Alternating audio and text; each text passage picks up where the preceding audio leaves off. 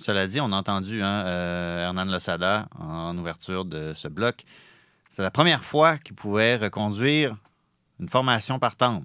Oui. Première fois de la saison. Donc, dans cette optique-là, moi, je trouve ça, je trouve ça intéressant qu'ils se réjouissent de ça, mais qu'en même temps, là, tu as deux matchs contre Toronto. Il faut que tu fasses tourner en championnat canadien. Après ça, il faut que tu refasses tourner en MLS. Exactement. Euh, quel, quel message est-ce que tu trouves que ça envoie? Parce que là, c'est comme si on parlait. En tout cas, moi, je trouve que c'est comme un peu comme si on parlait des deux côtés de la bouche.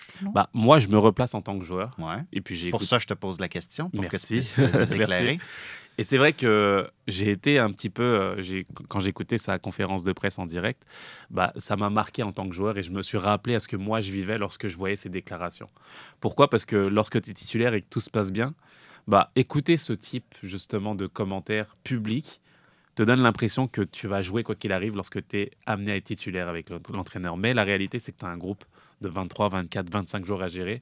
Et lorsque moi, j'étais en situation où je sentais que je jouais un petit peu moins ou qu'un joueur prenait ma place euh, à une situation donnée, bah ah, là, l'entraîneur te donne une indication qu'il a trouvé son 11 et que c'est plus la peine de s'arracher pour la suite de, la compétition comme il faut parce que bah, il a déjà son équipe en tête. Et, euh, et la communication qu'il donne à l'extérieur c'est que bah, j'ai déjà eu des équipes dans l'équipe et je sais qui va jouer avec qui etc et c'est réglé. C'est un petit peu le ressenti que j'ai eu en l'écoutant. Ça m'a un peu euh, pas heurté mais l'essentiel c'est qu'il arrive à retourner dans le vestiaire et à avoir un discours tout autre auprès des joueurs, de leur dire, guys, c'est l'émulation qui va faire la différence.